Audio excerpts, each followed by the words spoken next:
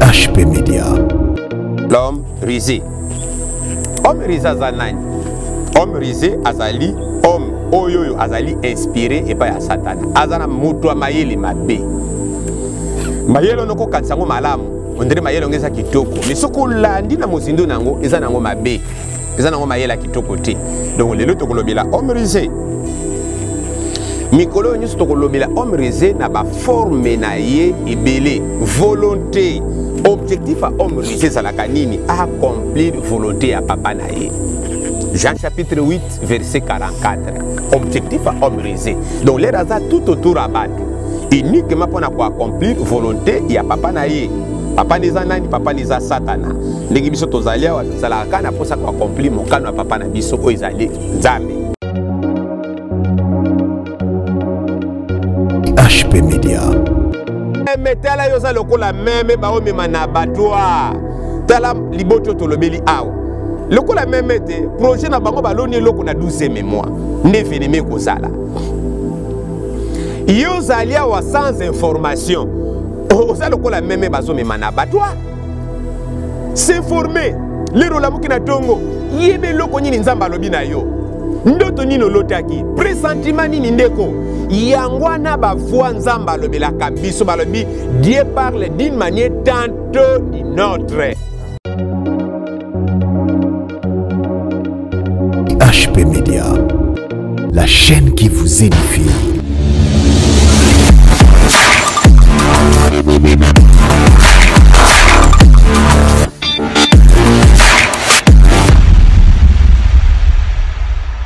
Voilà, mbote bana nzambe ba chrétien mpe ba chrétienne nyonso place ezwami biso bozali kolanda biso vraiment kolo apambola biso david alobaka alobi il est riche à bonté voilà pourquoi komonana lisusu na mokolo ya lelo na ngonga ya lelo ça dépend heure yo ozotala biso ezali mpo na volonté na biso te kasi ngolu oyo asali biso or ngolu na lopoto balobaka c'est la grâce la grâce c'est une faveur imméritée eza eloko moto akokaki kozwa te mais na mawa na ye na bolingo na ye nde asali ngai nayo tokutana donc Ote ebele pourquoi pas na kati ya EHP Media TV vraiment Nzambe apambola biso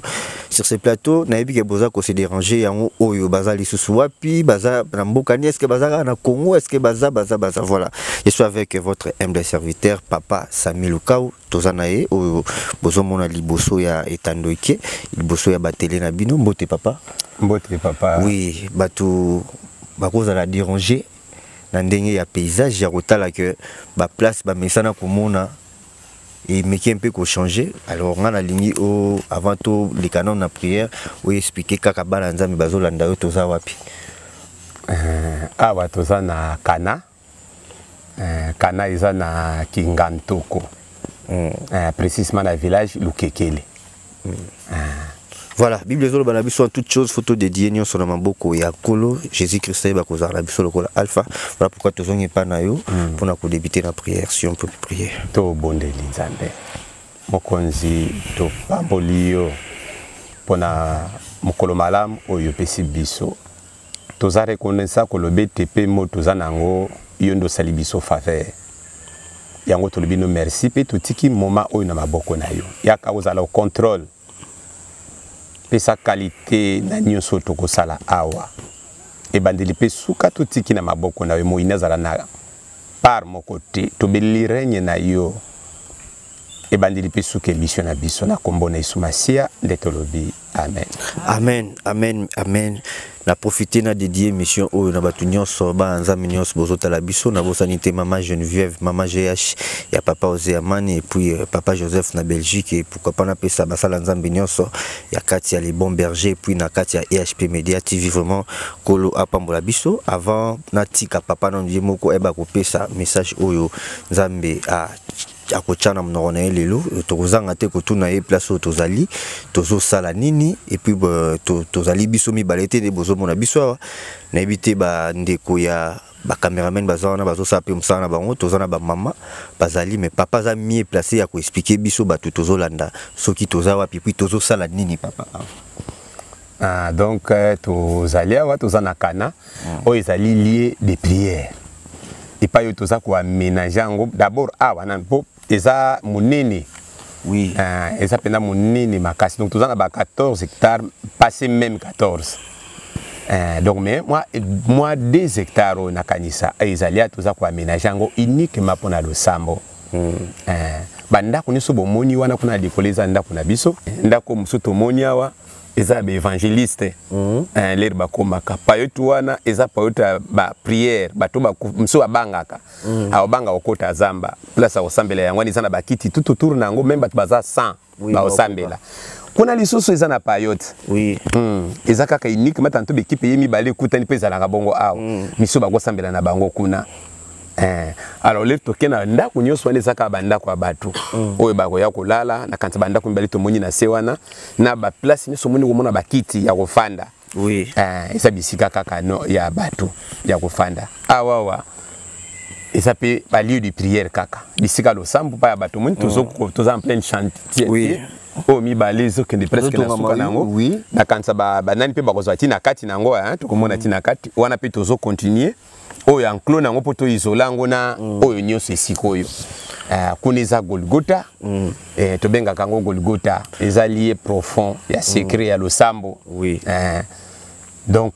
vraiment eza ndenge wana voilà merci beaucoup alors tozanga te kotuna mituna oyo ezouta na, na kati ya mitema ya bandeko bakoki kose pose baquestion yango bapaster bazalaka na mbongo ebele est ce que place oyo eza place privée est ce que place oyo eza ya mutu moko est ce que place oyo place oyo place oyo na ba question eza place ya le bon berger voilà euh, na biso passer la zara na eloko te amen de to, ngam nasalaka yango hein ngam nasalaka yango na ba possibilité bana na nzambe bazo pesa biso mm. ngai na geraka mais eza ya ngai te eza église mikanda eza na kombo église kombo na ngai eza machine kale batie kaka pasteur eh. ndenge mpe kombo na ngai moko te bakombo ya baninga mosusu bapaster ezali ya badisiple ezali eh, donc eza eplace ya église eza place ya motu te eh, donc eza esika église voilà merci voilà, beaucoup alors euh, eh, nakokota na biso awa en tout cas biso moko tomekaki kokamwa mwa moke par rapport ya, ya, ya, ya simplicité oyo mosala ya nzambe akoki kozala nango mm. alors soki tokoki kohésite te komeka susu kotuna alors euh, papa secret na oyo ezalaka nini simplicité contact na nzambe Euh, na, na, na, na, na ndako mingi eza mpe malamu me mingi momonaka lokola tozomataka ne hein? mm. yango tolingaka kolobaloba yango mingi te biso tokoloba yango mpe mingi eza lokola te tomona baninga mosala alinga kende epai fo ah, lere azoloba na mati ngomba mpo bapesi mbongo ya transport te mm. biso eza momesano déjà ah, okay. donc tomataka de temps en temps mpona kose ressource surtout mpona kobondela mpona baka oyo tozalaka na yango biloko ezo marché te yango wana mpe baresultat na biso ezalaka positif mm. eh, rapide rapide donc secret na biso eza simplicité contact na nzambe wana eh, mm. contact na nzambe wana humilité wana nyonso mpo na nzambe secret yango wana kaka koyeba nzambe kobanga nzambe eh. Voilà, merci beaucoup. Alors, Papa Lobi, place eza, il y a les bons bergers. Est-ce que euh, moyen peut zalaka ou permettre na bana nzambe sous bazo landa ba ko zala na ville Kisasa na ba chrétien tout ba chrétien ba ko zala na besoin ba ko taper retraite ba apprécier pe place il y, y a les bons bergers. Est-ce que koki pe ko sunga bango po ba ko ko matape ngomba a elongo na bino? Eh, donc mais comité ekataki yango mm. eh, comité ekataki eloko na mpo bato bayaki awa misusu kopelisa babougie donc bacérémonie moko bizarre biso mm. toyebaki te me bana lere bamoni yango bacomprendre kenda yaya mm. tokosuye esika Euh, donc loba vraiment bato tokola hein? mm. là c'est autre chose mm. euh, biso ya jésus kaka topelisaka ni bougie même na golgo tokomona trois croix eza bareprésentation Mm. ke mokonzi oyo biso tosambelaka mpo kro eza kaka symbole ya bakristo oui. mokonzi oyo biso tosambelaka akufa na katikati ya miyibi mibale miyibi mibale se nous moko incrédule moko ya grâce mm. eza déjà prédication mobimba wana biso toza na parti ya miyibi oyo ya grâce wana oyo alobaki seigneur kanisa ngai oui. acomprendre yo ozofinga mokonzi mm. eh, donc vraiment a ah, likolo yango mbo bato bakoya na bango me tokati mpo bato bazoswi esika misu baya kozwa bateme awa toza deja na lipu ya bateme kuna ya propre totonga mpenza na bakaro mm. tobatisaka bato kuna chance topesaki bango pui wana te oui. topesi bango mai kuna bakanga mai tya mandalala donc baseremoni moko donc oyoki na kati ya yesu eza te eh, nde ekomi kobangisa biso mwa mingi nde komite mwanaki kende tokata nanu bato komata likolo ya ngomba totikala nanu biso bale bon na ba église oyo tokolaboraka na bango mpo topesaka bango mpe moma bate epai na biso ngai nakende miteyaka epai na bango ah, donc toyebi foi na bango keso bamati a ah, bakosala n'importe quoi te eh, donc bandako oyo tozosala eza mpe bandako moko mpona bacadre oui. eh, toza na bapapa na biso mosusu lokola papa nzola papa jacob eh, bawuta komona wuti mosika lera ye Eh, ba place eza mwa mingi ndako moko ya monene omona moto moko akangi yango mm. lere aza ja kuna moye bato bakota kuna eza te ndeti kosala bandako ekozala ebele ndenge nzambe akopesa biso possibilité eh, lere bango bazoya bazokoma epuis ndenge bandeko na biso baza mpe misika lere bazoya mm. mpo na losambo bandako ndenge mpe biso eh, ehp media na groupe ya tekinique ya lebontoye boye mais awawa eza kaka couple Mm. soki couple te individu oui. eh, individu motu ye moko akokota bafiance te mm. mi bato baza couple obi baza na bango bana mibale mibale mm. misato eh, bakozala na bango na ndako mpona kosambela ok merci beaucoup avant natika papa mpona mwa message moke papa tomoni yo na teni ya pembe pembe epuis na table na biso eza pembe eza kaka ba question bandeko baza ko se poser na kati ya mitema na bango eza couleur oyo nzambe alingaka mingi yango mpe couleur oyo ngai na preferaka parmi bacouleur nyonso ya mokili couleur oyo nzambe alingaka mingi moi na bavision na biso bato nyonso bamona lola bamona yango na couleur ya pembe mm. ekla wana nzambe wana eh? yango wana kaka tosepelaka nango mingi yango wana mpe ngai nalati merci beaucoup c'est poussé par l'esprit makomi elobi que les hommes de dieu parlent de la part du seigneur alors totika yo mwa ta mukie ya mm. exotation mm. biso nyonso tolanda prédication après tokozonga susu na nsima papa la chaîne qui vous édifie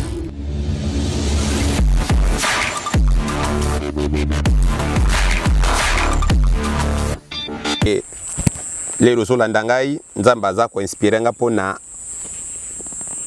quatrième enfa libota quatrième enfa libota moko akolanda nga aza na badifficulté ya makasi mpo na prophetie tokambaka deja bato peut-être ekozala goût na yo te oh, il a fallu papa tanga kombo te eh, ndenge nzambe akambeli biso à chaque fois soki ozo prophétiser osali oyo eza volonté nzambe te opeshe donc nzambe alobeli nga kaka mpo na 4 manfa kuna nakobakisa eloko mosusu likolo te donc lero ozolanda nga prophétie ofele eh, prophétie mpenza ya ofele sala mpenza makasi olanda nga malamu okobenga obie okoposte message na yo audio otie problème noza na yango tokosunga yo lere nzambe alobi yango deja seke solution eza na mopanzi nzambe apambola yo nzambe abatela yo lelo tokolobela na ntanga moke l'homme rise e tokosalela yango bamiso mibale obie misato l'homme rise homme rise aza nani homme rise azali homme oyo oyo azali inspire epai ya satana aza na moto ya mayele mabe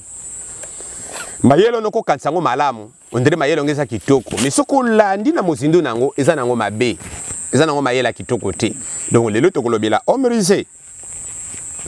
mikolo oyo nyonso tokolobela homme rise na baforme na ye ebele volonté objectif ya homme rusé ezalaka nini accomplir volonté ya papa na ye Jean chapitre 8 verset 44 objectif ya homme rusé donc lere aza tout autour ya bato uniquement mpo na koaccomplir volonté ya papa na ye papa na eza nani papa na eza satana ndenge biso tozali awa tozalaka kaka na mposa koaccomplir mokano ya papa na biso oyo ezali nzambe soki otangi na jean chapitre 8 verset 44 yango wana ezalaka objectif ya homme rise alors lelo eloko nini tokolobela na ntanga moke yo na yo yo na ngai première eloko tokomona homme rise aformaka bacomplot mpo na kodétruire baninga il forme des complots dans les ténèbres pour détruire les siens homme rise forme des complots dans les ténèbres pour détruire les siens asalaka bacomplot na molili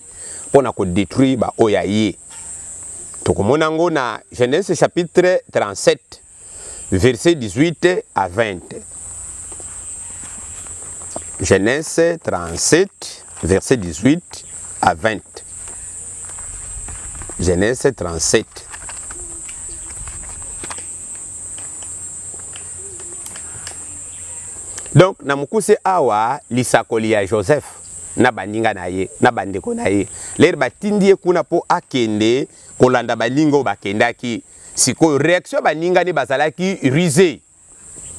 babandaki kosepela na ye te ndeko mwana nyonso ya nzambe toke na bamateya mingi na kanisa soki ozolanda biso balabi nous sommes la lumière du monde omoni donc lumière tolobaki kende biso fo to éclaire mokili na makambo ya malamu azalaka na parti ruse te na motema azalaka na haine te azalaka na jalousie te asepelaka mpo na lipamboli ya moninga contrairement na homme ruse aza jaloux asepelaka na bénédiction ya moninga te alingaka elevation ya moninga te siko a ah, tomoni baninga bandeko ya joseph le bamoni joseph na mosika tolobi homme ruse aformaka bacomplot a ah, balobi nini il vire de loin Genese chapitre 37 verset 18 à 20. Ils les virent de loin et avant qu'ils soient près d'eux, ils complotent de les, de les faire mourir. lelo nazoloba nani azokomplote mpo na koboma yo ndeko kolanda ngai eza libaku malamu elero ozotala biso tinda video oyo epai ya moto nyonso oyebi aza na bitumba ayoka mongongo oyo nalobi mongongo na ngai ekobima na tenebre ya libota na yo na tenebre ya vi na yo na bato oyo nyonso baza kose ligue comme bahomme rise mpo na kokombatre yo omoni donc awa lere bango bamoni ye na mosika balobi nini babandi kozwa deja makanisi bazali kokomplote ye wana faiseur de songe ah, ndenge tozwi ye boye tokosali babandi kozwa makanisi ye kuna lera mona baonakanisa totalaka na bafilme abengi mes frères azoya na gentil bato azoyela na gentil mitema nkosi mitema balion mwana na nzambe biso nalobaki boye landaka nga na bapredikation tala toza meme liboso ya jésus toza kaka meme liboso ya kriste me na mokili nous sommes des lions omoni donc salaka na différence oyo kopesa gentillesse na yo bipesila te nakanisa tokolanda malamu yeba nani ozozala na ye ozolia epai ya nani lelo lere nafandi lobi na butu nazosambela mpo na mabota bato nzambe ainterpele nga mpo na libota moko ezali awa bato moko baye basangani mabota mibale basala mabe na ndako wana nzambe azolakisa ngai ndeko nazosambela mpo na libota mosusu homme rise balakisi nga baloni nzete na nsima ndako ya bato balobi ebota ti na 12 mois evenema ekosalama bakobotola mwana wana ba, ba, ba, mabota mibale esangani ndeko tala bato ya molili namoni yango nzambe alakisi nga formule ya kodetruire nzete wana siko soki toza informe te donc nzete wana ekobota na 12 mois evenema mpe eye tosambeli esimbi te lere bamoni oyo mwana ndeko na bango propre balobi nini tosala complot il se dit l'un à l'autre voici le faiseur de songe qu'il arrive venez maintenant tiole et jetons-le dans une citerne Nous dirons qu'une bête féroce l'a dévoré et nous verrons ce qui deviendra ce songe. Ma songe yaka toboma ye tokotala tokoloba nini tobwaki ye na libulu ya bankosi na libulu ya bankosi totala soki basonge na ye ekoma nini ndeko wana eza bango nde bazokanisa homme rusé moto ya mayele mabe moto ya makanisi ya mabe oyo aza tout autour na yo azokana kaka uniquement kodétruire yo balobi aya tokodétruire ye tobwake na citerne mais ezalaki masonge bakokaki kosala eloko wana te kosimba te ekokaki kosimba te ata moke omoni mpo Nzambe ye moko azalaki na ye, abandaki kobatela ye, apesaki ye bisakoli. Okotala yango banda na Genese 37 oyo tozotanga tanga banda na verse 5. Kuna Nzambe moto azopesa ye ba vision alakisi ye bagerbe ya bandeko ne nyonso eseplie liboso ya gerbe na ye alakisi ye sanza na betoile ese prosterne liboso na ye bandeko nde babikende okanisi biso tokokoma tokotikala kozala bawumbu na yo ekosalamaka wi oui. ekosalamaka pourquoi nzambe asala lola mpe akordonaka baevenema nyonso de la terre ye nde ayebaki projet oyo akreaki mpo na joseph ayebaki makambo ya malamu atyaki liboso ya joseph nde avant joseph akufa fo makambo wana ekende secret joseph ezalaki crainte ya nzambe eloko ezozango mwana na nzambe oza na batalan ebele oza na bapromese ebele oza na makambo ebele nzambe atya katikati na bomoi na yo oyo ekosunga libota na yo ekosunga mabele ekosunga mangomba ekosunga mokili mobimba mais sauf ke ose deconnecte na crainte wana leta joseph azalaki connecte omoni ye alingaka bandeko na ye papa na bango atindaki etikili biloko aye ah, est ce que soki ezalaki bango papa na bango atindaki bango balinga baya non balinga ye baya te balinga ye baboya balinga ye balobake nde biso tokoki ketikela petite na biloko te me ye aye na bolingo na kati tomonaki bevenema babwaki ye na libulu moko aboti mwa motema malamu ndoki ndoki ya gentil abimi parmi bango te tobwaki kaka na libulu ah, babwaki ye na libulu kala mingi te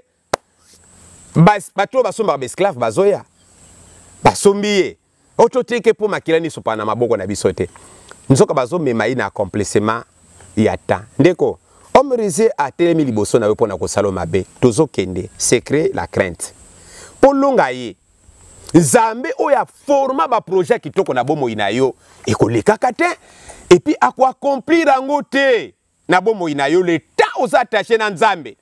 bitumba ekoki koya bato ebele baza na citerne sans o oyo babwaki bango ndenge tokomona na jérémie ndenge tokomona na bomo ya joseph babwakaki ye na citerne me akufaki te nzambe akoampeshe baboma yo na kati ya sirti bakolekana bakolekana penepene no mpo na kosomba babengana yo babwakisa yo libanda balongola yo na ndako wana basala yo mabe moko mpo na koprive yo bie moko boye ndeko spirituel elema soki otikali attache na crainte ya nzambe mabe oyo bazosala yo ekobaluka mpo na benediktio na yo nzambe asala yo ngolu yo oyo ebangaka nzambe ozoyoka ngai nayebi ozotraverse bamoma difficile eza na traverse ya desert eza mpe na plonge dans les fosses omoni eza na traverse ya désert eza mpe na plonge dans les fosses na plonge dans les fosses eza l'emprisonnement okofanda na sterilité okofanda na chômage okofanda na maladi moko ekangami yo na nzoto ndeko molai epreuve wana te nzambe telema tikalaka nzambe natie parenthèse mais olota oza na sterilité mpo oza na kati ya fosse wana na fosse wana Monsieur ezalaka ekauka. Oza pe de preuve makasi. Monsieur ezalaka na na poto poto nito babwakaki babwakaki Jérémie. Ndeko, eza ba moment moko difficile oyo mwana na Nzambe soka piki te. Papa oyo nayebisaki bino na kilt omoni ndenge toprofetizaka toprofetizaka ndenge wana le baobenga biso baprofete eza en 20 papa nayebisaki bino na kilt ke papa mata nzambe alobi eza na probleme oko ezo yela yo na kati ya ndako na yo soki okebi te okokota bonganga pika tala tolobaki yango dimanche eh? lundi mardi mercredi choc na kati ya ndako na ye mwasi ne kao asali batrouble ba, ba, ba langage azokende na coma tension ne 4 dimanche wana azalaki na kilte aza normal papa mata mopepe ezoya oyo ekoki komemo na bonganga ekomemo libanda ya kristo donc pika kosede na tentation wana te sept jours de prière kangisa bana na yo 24 heures regle maloba na yo regle maloba longola kanda liboso ya bana na yo regle maloba sept jours de prière yesu mais omoni telema nzambe arevelaki yango tobondelaki lelo aza a vie tobeteli nzambe basakoli maboko mpo ndeko eza moma moko ya malamu oyo olandi biso alors lere biso toza na se na mokili bitumba na biso exode 14 14 wana eza eloko ya malonga oyo tufu totyaka na motema na biso tala na 14 wana bana israele ndenge bazosala bazolobaloba bazoyimayima eza kokamwisa nzambe nzambe alobi me o oh, moïse mpo na nini israele batelemi exode 14 loba na bango batambola ndeko oarete fwano mpo na homme rise faro azalaki homme rise moto ya makanisi mabe moto ya misala mabe yo arete fwano yo mpo na bitumba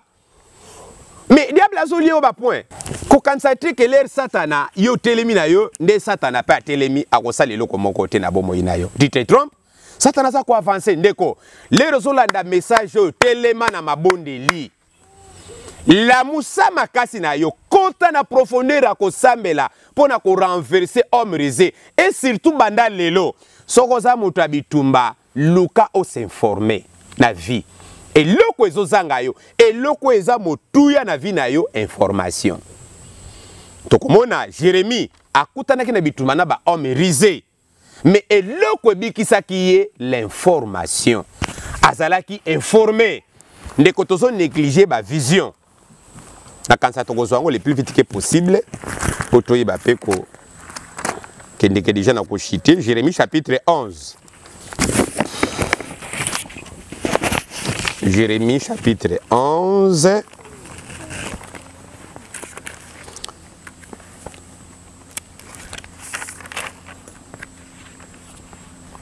verset 18 à 20 toujours. yoka maloba ya ya jérémie alobi boye l'éternel mana informé et je l'ai alors tu m'as fait savoir leurs œuvres omoni donc jérémie mpe azalaki na problème wana alobi e chance nzambe abeteli nga lisolo ainforme nga mpe nayebi mabongisi ya bato ya molili bato bazalaki homme ruse mpo jeremie aprofetizaki baemprisonne ekoki bango te mposa na bango badetruire ye kaka nde baforme projet na bango yo landanga malamu na verset 19 est très profond kanga alobi boye j'étais comme un agneau familier pour le mauvais destin qu'il méditait contre moi détruisons l'arbre avec son fruit retranchons-le de la terre des vivants et qu'on ne se souvient plus de son nom. Alléluia. alobi nazalaki lokola meme tala yo oza lokola meme baomema na abattoir tala liboti oyo tolobeli awa lokola meme te projet na bango baloni eloko na 12 mois nde eveneme ekozala yo ozali awa sans information oza lokola meme bazomema na abattoir s'informer lero olamuki na tongo yeba eloko nini nzambe alobi na yo ndoto nini olotaki presentima nini ndeko yango wana bavoi nzambe alobelaka biso balobi dieu parle d'une manière tanto d'une autre Amen. na kati ya barevelation na biso tozo néglige bana na nzambe bazolamuka lokola basoso kaka tongo lere elamuki bru libanda non tongo lere etani luka oyeba eloko nini nzambe alobi na yo propre metala véritable vision mpe message ya biloko nanu yo moko ozozwa lelo toza bana na nzambe toza na crainte ya nzambe tozobanga nzambe na mozindo nzambe ainformaka biso d'une manière tanto d'une autre ndeko nga balinga koempoisonne ngai nakobetilo secret moko boye balinga koempoisonne ngai nakutana na biloko ebele nakutani na biloko ebele nalingaka koloba yango te mpo na kofroise bana te bana ebele soki bayoki baverité mosusu awa bakopekisa nga meme kotambola nabangaka te me mpo naza na yesu nafandi na golgota nasambeli nasambeli nasambeli nzambe azolakisa ngai na elanga na nga moko verdure ya makasi bampate bazolia bameme na bameme nga moko nazotambola na kani na nga lokola berger na inkarnaka kriste ngai nayebi te soki yo inkarnaka nani me ngai na inkarnaka kriste ah? nazotambola na kwe na kwe moko boye e eh, wana information ya nzambe eh? na, na sommeil na ngai sikoyo na golgota naye kukuta meme aolia meme ngai abi jamais meme alia meme meme azalaka herbivore koma meme akolia meme ale nakangi ye baberige mosusu bazalaki na bayi tokangi ye tobende boye mposa meme elongwe lio na kati eh! donc lio na kati ya patirage na ngai tobeta ye banzete tobuka ye maseke tofandi tozongi na kisasa nalobi yango na, na eglize nayebi parmi bino mwana moko akani kosala mabe epai na ngai me nzambe akobimise na mpwasa nalobi yango dimanche nalobi yango mercredi vendredi tokobeta lisolo te eyindi oyo oyokaka ke eyindi omoni bainformation oh, betela nzambe wana mabo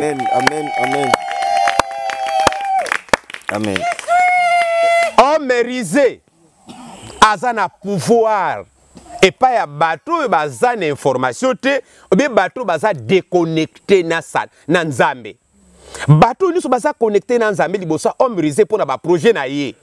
esimba te ndeko projet nini diable aza nango mpo na bomoi na yo tozokende na koshite landanga na bokebi eske oyebi yango tapa ya mama likambo eza wana oza wapi oza na afrika awa oza wapi oza na europe oza na asie oza na amerike oza na océanie projet nini diable aza nango mpo na couple na bino tanto azolinga panza yango azolinga kolia yo mwana azolinga longolo na mosala azolinga odemere na ignorance azolinga ozwa mokanda te azolinga yo bota te odemere na maladi wana mpo homme rise akreaka baprojet bazwi joseph babwaki ye na libulu wana me mpo azalaki na nzambe ndeko lire oza deja jete na fosse wana c'est ça ta mort soki osali makasi te kufa no yango wana joseph azalaki inonsa ye oza inonsa te nazokondane yo te na makambo ebele me nazoloba kaka kende tourne regard no epai na krist na badomene nyonso mpo ovaincre réalité wana ya homme rise ndenge oza na kati ya fosse wana citation no spirituellement okosilisa baprofete amen okosilisa na bapaster ler homme risa abwaki yo na kati ya fosse wana délivrance na yo eza d'abord ezo dépendre na yo omoni donc yo fo ozwa conscience wana ke ngai naza mwana na nzambe nde bapromese nyonso nzambe asala na bomoi na yo etoka mpe esala nzambe aza mpo na yo nzambe akufaki mpo na biso nani oyo atelemi livino mpo na koboma yo akobomo te ndenge mose alobelaki israele malgre to bazalaki bato ya mabe ndenge ngai naye kolobela yo likolo na ngomba oyo yo nazoloba nzambe alimbisa masumu na yo nyonso soki oza mpe mwana na nzambe nzambe asala adepeshe energie na ye kuna atindaki Troupe moko ya ba shetera bato balekana po kaka ba libere ye. Tala moto wana akomi kuna, moto ya bitumba. Yo oza makila libata te. Mais vie na yo ezokende vers ta destinée. Nde ozomona ba ozopasse ba zone ya turbulence wana. Mais komipesa makila libata te mpo na succession ya ba evenement. Tala aye kotala babwaki ye na libulu sikoyo natuna soki libulu yango nyoka azalaki alingaki koswa ye na kati me nayebi so meme aswaki ye alingaki kokufa te soki mpe alingaki koswa ye te tala nyoka alingaki kokoma camarade ya joseph nzambe asalaka bongo omoni de deux babimisi ete bakende pa pontifar ministre ya, ya, ya, ya farao ali mwasi na kosile makambo tala moto yango nano me kuna gerbe fe kweya quelque part bambwetete baetoile na line faut se plier liboso na ye amen quand mabe mpe badifficulté ya bahomme rise ezodéconnecte na nzambe te atikalaki fidèle bakoseli makambo combien de fois bakoseli yo makambo ndeko ezalaka mpasi eh? badifame yo baloba mabe mpo na bomoi na yo me tikala na nzambe wana de deux na kati ya prison bakomisi ye bakotisi ye oyebi donc toloba mpo na kosukisa joseph abandaki kobika lipamboli ya bana na nzambe nyonso na deuteronome chapitre 28 verset 13 deuteronome chapitre 28 verset 13 alobi tokozala mikila tokozala mitu te omoni tokozala mikila tokozala mitu te kaka soki tokobanga ye tokotikala fidèle ye moto amenajaka makambo nyonso na libota mwana nsuka donc moi avant dernier hein, hein, ye moko eh, na, na, na classement na aire wana ye moko akoma lokola mwana liboso babwaki ye na libulu batindi ye pa pontifar akomi maître ya ndako moto ayene kaka mikolo akuta mpe basali akomi maître ya ndako bakangi ye babwaki ye na prison akomi chef ya prison tala baasi wana ndenge ezoleka bakangi ye ba libere ye baye ne pa ya ndako ya fala po a discerne kaka songe te akomi maître ya ndako ya fala et non seulement maître ya ndako ya fala maître Egypte mobimba betela nzambe na biso maboko amen ndeko eza na ba promesse papa na bango alela mirage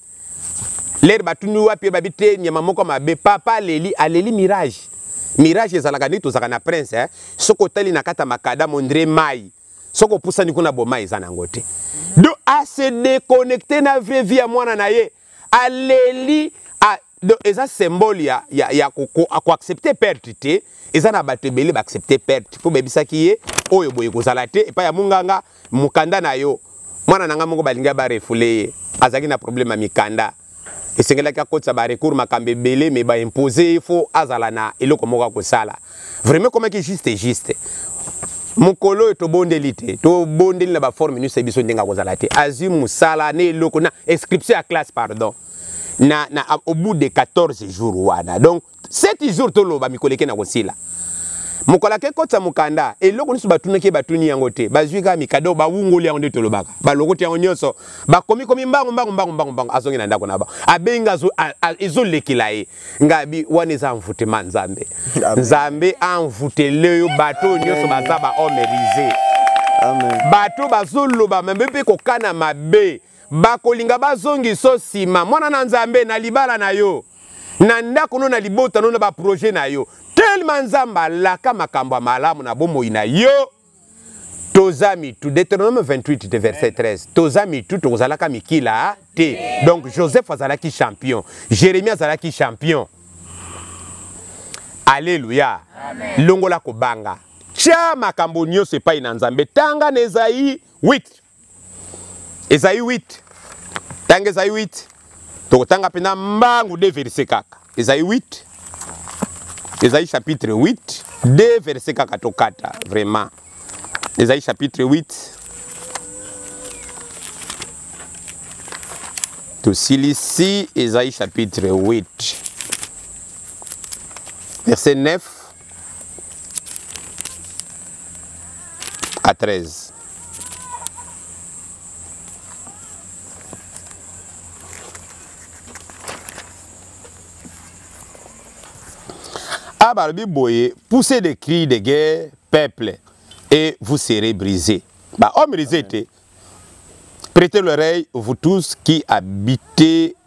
au loin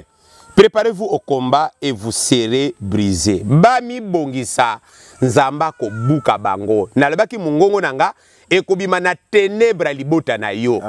bahomme rise nyonso baza tout autour na yo quelque soit mipiku na bango bamibongisa nzambe akobuka bango bala bipousse de cri de guerre peuple et vous serez brisé na verset 10 babiforme des projets ils seront aneantis. Alléluia. Amen. Bobongisa mabongisi bino ba homme risé ekozala anéanti. Mwana na Nzambe, la persévérance. Jacques chapitre 1 verset 1 à 4. Tanga yango na ndako. Patience wana. Kobima libanda te. kobima libanda ete tikala mwana na nzambe nzambe apambola yo soki bato babondela mpo na yo te nazobondela indirect eme epai na yo nzambe akota na séjour de ténèbre na yo akuta bahomme rise ayeba koneutralise mpe koanéantir baprojet na bango nyonso basalaki alabi forme de projet il sero néanti donner des ordres il sero sans effet bapesa mitindo na bango ekozala sans effet eloko eza mpenza ya kitoko ya kitoko makasi na verse na yango 13 tosukisi wana babi boye toza toujours na ezaye hein? tozosukisa te ezayi wuti eh, yango wana tozotanga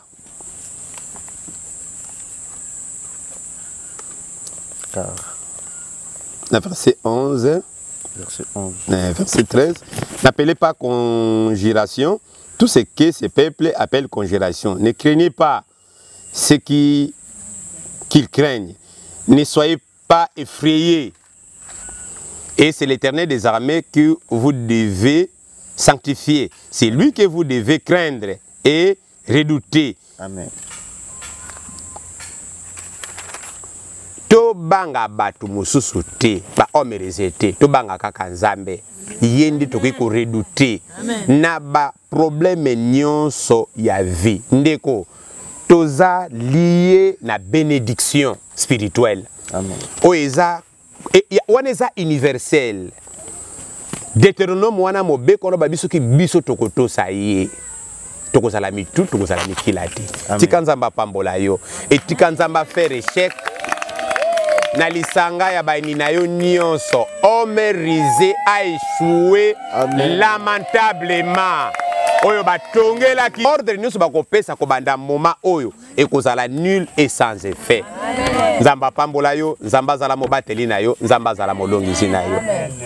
Amen. Merci, merci, merci. Vraiment, Kolo Apambola Bisso. Merci beaucoup, papa. na bilei oyo opesi biso na mokolo ya lelo voilà c'est ça oyo makomi ezoloba que dans l'air de tresse vous crierez à l'éternel et l'éternel envoya sa parole et sa parole les a guéri donc euh, tika ete à travers cette émission à travers message oyo biso toti koyoka esunga yo ekota na kati na yo mpo eyeba kosala ça nango bible elobi vaut mieux la fin d'une chose que son commencement tika ete à travers cette émission ozala béni édifié pourquoi pas oyeba kozala consolé na bagenre ya baproblème nyonso okoki kozala nango avant de clôturer cette émission na préféré na signaler lisusu biso à propos ya 4 jours toza nango les bons bergers organisent 4 jours d'enseignement prière et de délivrance donc euh, ezobanda déjà ce jeudi le 29 ti le premier donc euh, biso biso nyonso toyebi thème ezali intervention divine donc orateur eza ye moko papa prophète sami lukau donc du 29 octobre au 1er novembre 2020 à 16 h 30 jusqu'à 19h30 donc toza wana sur l'avenue kivuka biso bato toza na, na na Kinshasa na, na Kini toyebi commune ya Makala donc toza na avenue Kimvuka numéro 23 quartier Tampa donc commune ya Makala eza musika te référence ezali route Elengesa vraiment tozala wana nzamba za na biso na rendez-vous na jour wana donc euh, Pour vous signaler, Bino Batboza partout dans le monde, Europe, Amérique, Asie, Océanie, pourquoi pas na Asie. Vraiment, Tozawana, Tozala direct sur EHP Media TV et puis rediffusion bokozwa yango susu na Les Bons Bergers TV. Vraiment kolo apambola biso papa tokozanga te kosenga yo peut-être numéro pona bato bazotala na musika bakozala na posa o edifie bango ba poser pe mwa ba question numéro ya papa eza juste na se ya bar ya écran wana sur Les Bons Bergers TV et puis sur EHP Media TV numéro ya papa eza wana soki omoni bien te ba numéro ya ba chaîne pe eza wana osali effort obengi topesi pe kaka yo vraiment biso nyonso tozala au rendez-vous alors quant à moi na kosisa émission boye te sans que nayeba koremercier bino bato oyo bana nzambe bozalaki liboso mpona kolanda biso et pourquoi pas napesa un grand merci na mama geneviève avant natika papa clôturer na prière na pesi pe mbote na bandeko nyonso partout dans le monde place bozali et pourquoi pas na pesa ba cameraman no bosa musala kitoko vraiment nzambe apambola bino musala bino mona papa bible lobi vaut mieux la fin d'une chose qu'un son commencement ce qui mot ya suka par rapport à monsieur kozala plutôt clôturer na prière mhm, clôturer na prière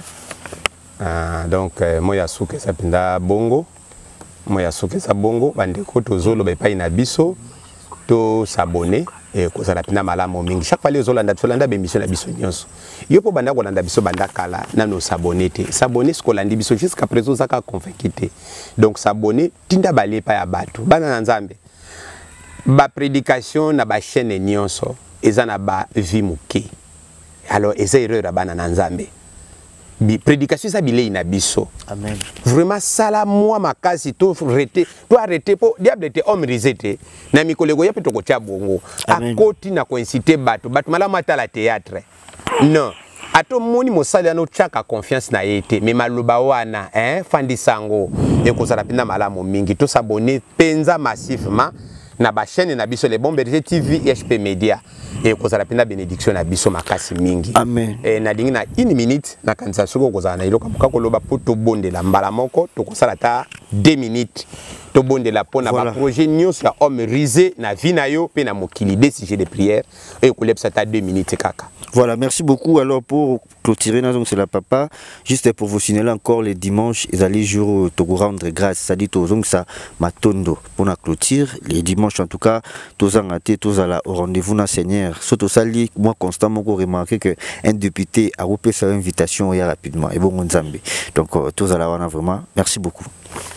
Ah, donc dimanche wana jeudi vendredi samedi eza séminaire dimanche tokoclotire mais eza mpe matondo ya construction eh, masanga na biso nyonso ekosangana tobondeli nzambe tozotika mpe kotelemela moto nyonso ozolanda biso kota na mwa libondeli ya moke na yo oza na bitumba ebele tozobondela sikoyo mpo na yo tozotelemela homme rise na baprojet nde na bomo ya bana na nzambe nyonso bakolanda biso miraculesement nzambe akota bitumba na bango mpe arendre impuissant baordre ya homme rise mpe baprojet na ye nyonso tobondeli biso banso bondela telemela yango na nkombo na yesu masiya Seigneur manifeste ta gloire. nabondeli yo nzambe yaka na gloire na yo yokela bato nyonso bakolanda biso mawa bato homme risa azokombattre akangi mabota na bango akangi misala na bango azangisi bango kimia na sante abloke bango na badomene nyonso ya vie akangi mabala bato alongoli bato mposa ya kosambela mokonzi kito banda kofuye kotisa mokonzi limiere na yo epai molili ezokonza bato nyonso bakolanda biso miraculezema baza na bitumba ya sorcellerie kota yango banda kodepuye baadversaire na bango ordre nyonso bapesaka ezala nul sans effet baprojet na bango ezala renverse kolo bimisa na mabulu bato oyo babwaki bango na mabulu longola bango na mitambo renverse conspiration libere bomoi na bato oyo bakolanda biso bazala libre eloko nyonso ya molili efonctionnaka na rete yango basonge ya mabe femme et mari de nuit complication ya bokauki biloko ezomatamata ya mabe basuccession ya baevenema ya mer na rete yango na nkombo na yesu masiya lakise tozali nzambe mpe mimonisa na mabota bato nyonso bakolanda biso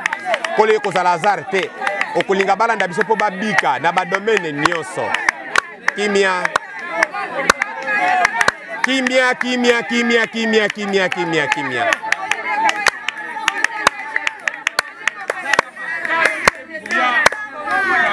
totelemeli baprojet homme rise na monde entier Amen. na mokili mobimba nini satana azobongisa na bapandemi oyo na baguerre na biloko nyonso toloba na maître disali ye nde asala plan disali oyo nyonso eza na kati ya plan ye te adestabilize yango tobondeli na nkombo na yesu masiya kolo